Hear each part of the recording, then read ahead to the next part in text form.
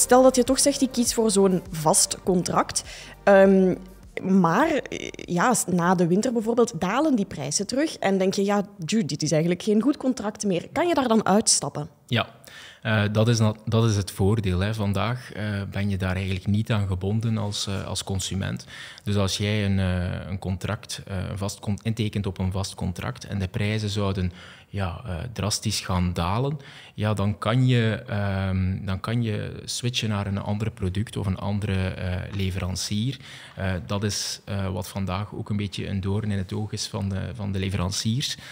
Um, maar um, ja, dus uh, vandaag is dat nog toegelaten. Het enige waar je wel moet op letten is uh, de vaste vergoeding of de abonnementskost die leveranciers aanrekenen.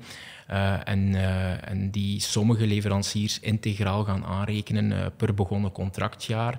Dus daar riskeer je wel om, om een klein verlies te lijden, maar wellicht zal dat dan niet zo groot zijn in, in, vergelijking met het voordeel dat je zou kunnen doen als de prijzen sterk zouden dalen. Mhm. Over hoeveel spreken we dan ongeveer?